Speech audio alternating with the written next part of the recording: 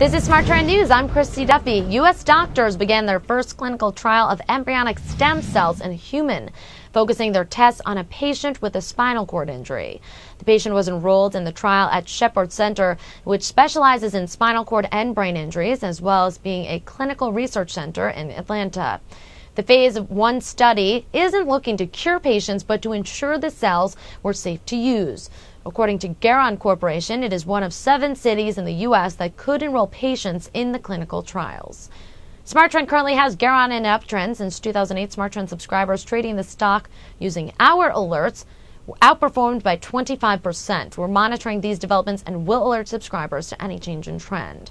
For further updates, make sure to subscribe to our YouTube channel, Trade the Trend. Also visit our website, tradethetrend.com for more headlines. This is SmarTrend News. I'm Christy Duffy.